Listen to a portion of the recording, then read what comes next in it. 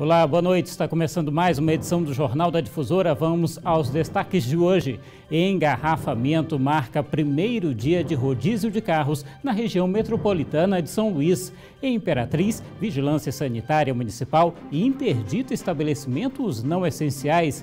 Governo do Maranhão entrega primeiro ambulatório especializado para casos de Covid-19. E ainda o Jornal da Difusora mostra histórias de mães curadas pelo novo coronavírus. O Jornal da Difusora já está no ar.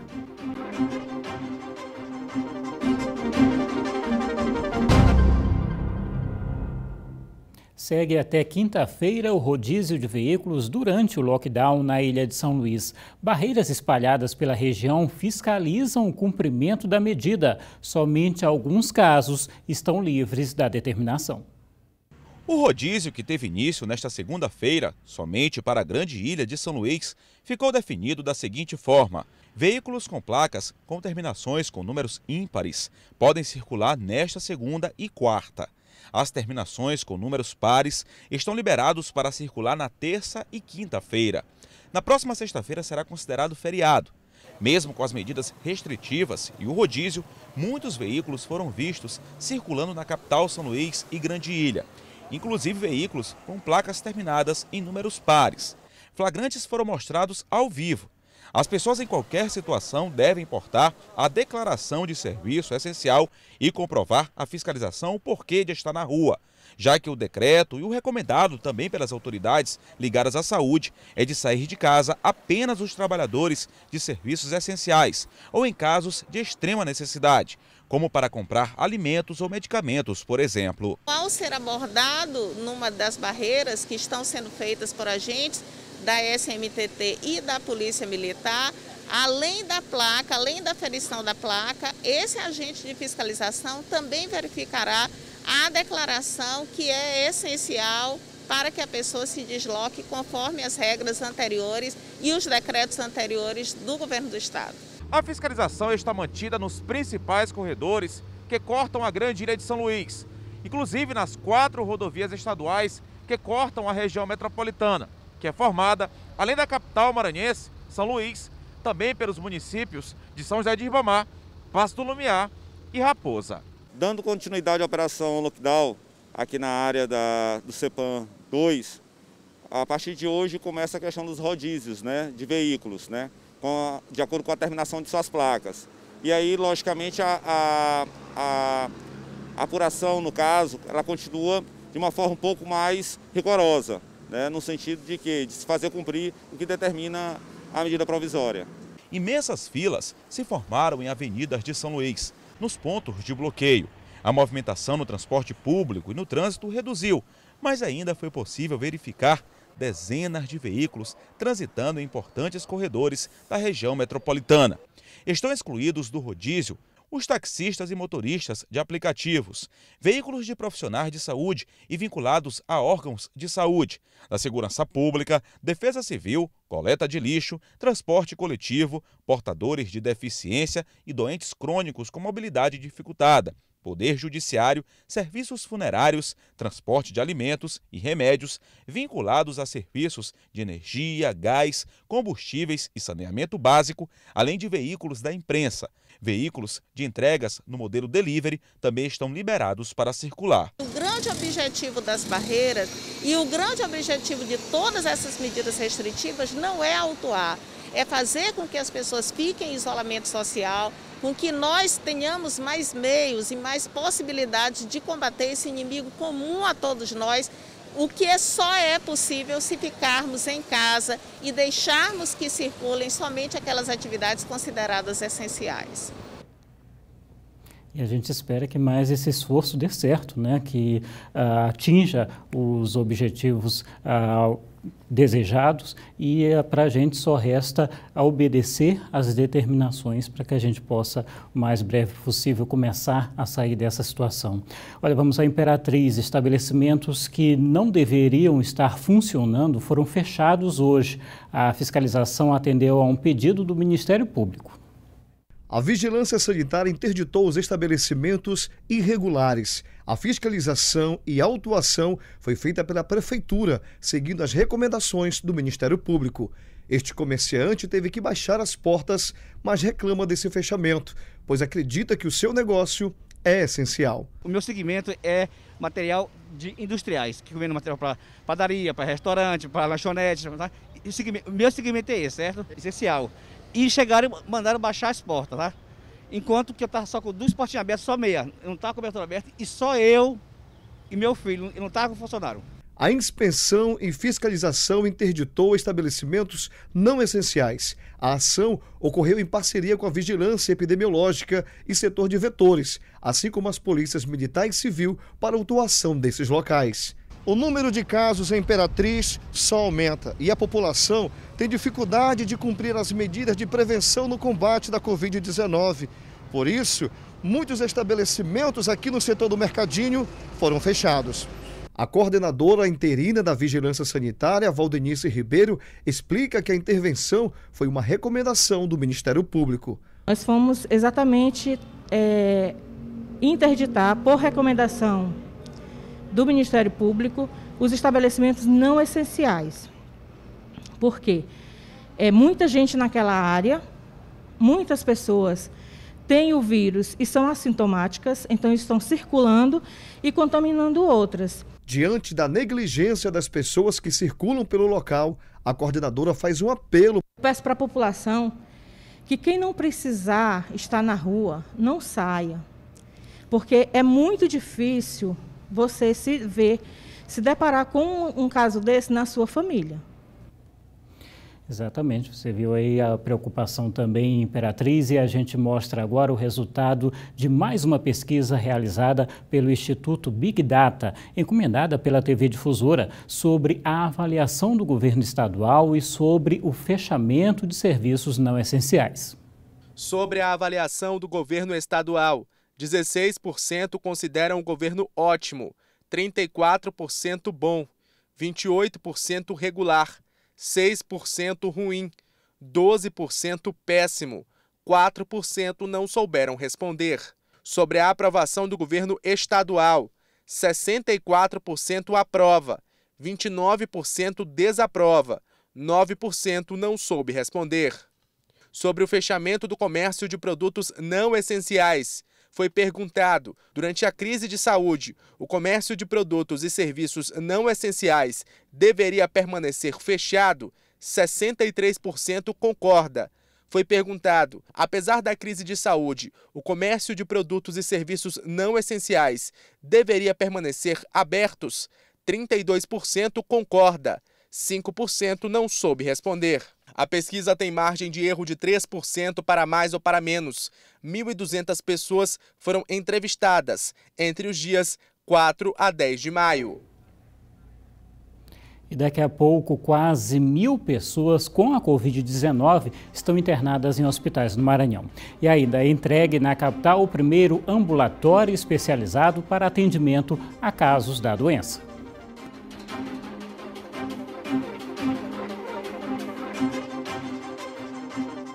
De volta com o Jornal da Difusora e foi inaugurado hoje, na capital, o primeiro ambulatório para tratamento de pacientes com a Covid-19. A intenção é desafogar atendimento nas UPAs durante a pandemia. Os pacientes que forem encaminhados para o ambulatório passarão por uma triagem para identificar como está o estado de saúde se a pessoa tem algum histórico de problema de saúde e os sintomas que apresentou nos últimos dias. Em seguida, os pacientes são encaminhados para a sala de espera, estruturadas com poltronas e cadeiras para acompanhantes.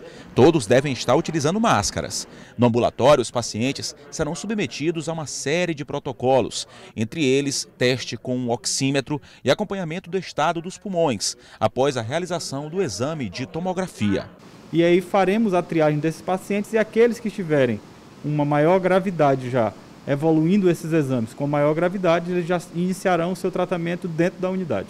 O ambulatório que vai funcionar aqui no Hospital do Servidor, anexo ao Hospital Carlos Macieira, que é um dos hospitais de referência no atendimento a casos da Covid-19, já começa a receber os primeiros pacientes a partir desta segunda-feira. Eles devem chegar já por volta das 10 horas da manhã a gente está mudando o conceito dos nossos hospitais macro-regionais. Eles muito provavelmente quase todos eles vão se tornar em hospitais voltados exclusivamente para o tratamento de Covid. Isso já está acontecendo em Imperatriz, vai acontecer em Santinês, já aconteceu em Pinheiro e deve acontecer ainda em, em outras cidades, exemplo de Coroatá e Chapadinho. Então, isso ah, nos leva a que, paulatinamente, a gente vai ter a expansão desses leitos exatamente para evitar o fluxo de doentes aqui para São Luís. A gente vai montar barreiras no interior do estado que tenham condições de dar suporte e cuidado para esses pacientes. Toda a estrutura já está pronta e com a presença dos profissionais de saúde que vão trabalhar no ambulatório do Hospital do Servidor. Mesmo com todo o reforço no sistema de saúde pública do Maranhão, este médico assessor especial da Secretaria de Saúde ressaltou que é importante as pessoas permanecerem seguindo as recomendações para conter o avanço do novo coronavírus no estado. O distanciamento social, o uso da máscara, a lavagem das mãos, né? É, e qualquer sintoma ou sinal precoce, procurar assistência médica, que nós estamos fazendo de tudo possível para levar um atendimento de qualidade para toda a população do estado do Maranhão. Pois é, regras que você já conhece e que precisa continuar cumprindo. Todo esse esforço, porque o problema continua aumentando, a doença se espalhando por todo o estado. Só para você ter uma ideia, atualmente 160 municípios maranhenses já têm casos confirmados de Covid-19, isso de acordo com o último boletim da Secretaria de Estado da Saúde. 979 pessoas estão internadas em hospitais de todo o Maranhão, entre as redes, redes pública e particular. Outras 5.024 seguem tratamento em casa. 1.742 pessoas já estão recuperadas e, infelizmente, o número de mortes chega a quase 400 casos. 5.646 exames aguardam resultado e mais de 8 mil casos foram descartados. Lembrando que, até o momento, o Maranhão contabiliza 16.512 testes para o diagnóstico da doença. Olha, daqui a pouco, mais de 600 profissionais da saúde já estão curados aqui no Maranhão e ainda a gestante recebe alta de UTI com homenagem em corredor de hospital.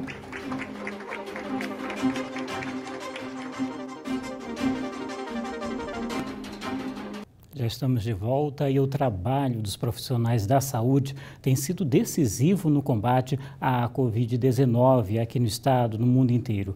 Mas eles também não são imunes e muitos acabam contaminados. Vamos conhecer histórias de quem superou a doença e agora pode voltar a ajudar a salvar outras vidas. Nonata Bezerra foi a primeira a contrair o novo coronavírus no município. Ela é profissional de saúde e atua como técnica de enfermagem em Vargem Grande e no município de Santa Rita. Eu não sei aonde eu contraí o vírus, se foi em Santa Rita, porque já tinha aparecido casos, ou se foi vindo nos carros de lá para cá, eu não sei aonde foi. Eu sei que eu fui infectada. Então, aonde foi um choque para a população. No vídeo, a técnica de enfermagem ressalta ainda que durante este período teve o psicológico bastante abalado por conta do preconceito sofrido pela população. A doença, ela adoece você, mas o seu psicológico lhe adoece muito mais, principalmente quando você sabe do preconceito do povo, onde você foi discriminada, foi rejeitada pela população. Adriana Lima, também técnica de enfermagem do município, testou positivo para o novo coronavírus. Hoje eu me sinto uma pessoa muito feliz por ter me recuperado e também agradeço muito o pessoal que teve todo o tempo me dando suporte, a Secretaria de Saúde e os meus colegas também de trabalho. E hoje também o que está sendo muito difícil é você chegar em qualquer local e ser tratado com, com indiferença, o número de pessoas curadas do novo coronavírus. Vargem Grande registra no total três pessoas que já foram recuperadas. O Maranhão chega a 1.742. Recentemente, Israel anunciou uma possível cura para o novo coronavírus através de anticorpos. O Instituto Biotecnológico afirma que a molécula reproduzida em laboratório por pesquisadores ataca e bloqueia o vírus. Até lá fica o alerta de quem já contraiu o vírus. aos cuidados que devem ser tomados. Vamos fazer o que está se pedindo, vamos usar máscara, vamos manter a distância. E para quem hoje descobre que está com Covid, vamos manter a calma, porque é difícil, mas a gente consegue sim superar esse vírus. E vai mais uma vez, claro, o nosso agradecimento a essa e outras categorias importantes nesse momento também. Olha, ontem o Dia das Mães foi diferente e para algumas famílias a data teve uma emoção ainda maior.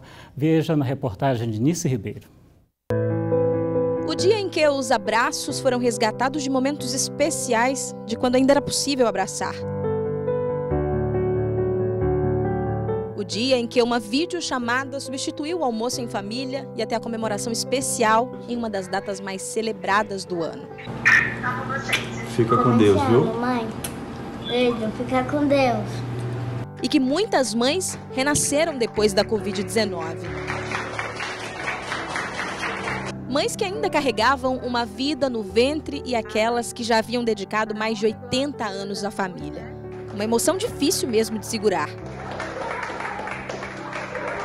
Josiela está grávida, conseguiu se curar depois de 40 dias internada na UTI.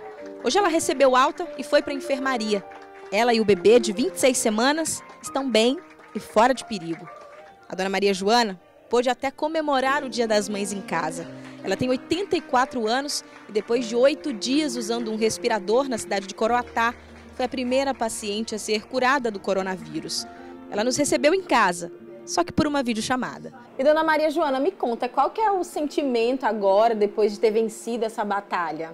Minha filha, eu estou sentindo só felicidade, só alegria. Isso é só bênção que Deus me deu. Eu não pensei de ainda voltar nesta casa viva, eu não pensei. Mas Deus é tão bom, tão maravilhoso que aqui estou. Um alívio para a família que fez o que pôde para ela se sentir segura. Pedi para a enfermeira não dizer para ela que eu tinha vindo embora. Eu digo, por favor, não diz para minha mãe que eu fui embora. Pedi para o médico, não diga para minha mãe que ela está com coronavírus, senão ela vai achar que ela não vai voltar para casa. Então, se ela perder a fé, ela perde a batalha, ela perde a guerra. Ela falou aqui que ficou com medo, né? Na hora, mas a fé, ao mesmo tempo, teve muita fé. E aqui está.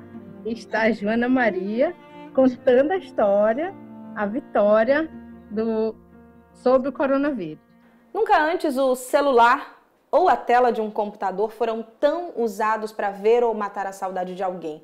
Em épocas de pandemia, onde só se fala em caos e mortes, essa conexão, mesmo que virtual, pode fazer muita diferença. Afinal, se manter distante nesse momento é o maior ato de amor. Foi o que este grupo fez. De longe levaram música e flores para uma mãe que perdeu o filho. Ela se sentiu abraçada, se sentiu acolhida e se sentiu. A gente conseguiu demonstrar, mesmo em tempos de isolamento, mesmo em tempos de distanciamento, a gente conseguiu ir demonstrar e dar nosso abraço de perto dela, perto, porém separados. Empatia, fé, solidariedade, amor. Ou seja lá qual outro sentimento defina isso. Este ano, o Dia das Mães foi mesmo diferente.